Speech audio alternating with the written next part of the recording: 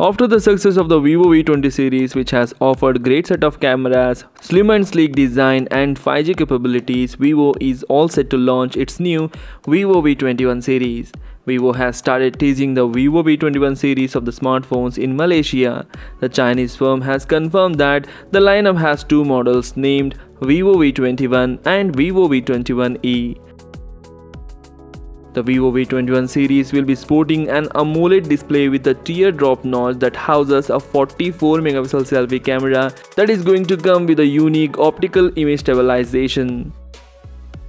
The top bezel of the Vivo V21 series features a dual front-facing soft LED flash that can assist in producing brighter selfies in low light conditions which no other smartphone has tried till now. The triple camera setup with the LED flash is available on the back side. The setup is headlined by a 64 megapixel primary camera which carries support for optical image stabilization. The details of the other two cameras are not known yet, so once we get to know, we will update on our channel. The Vivo V21 series promises smooth performance as it features 8GB of RAM and also the extended RAM of 3GB. The back panel of the phone features a glass back with a matte finish.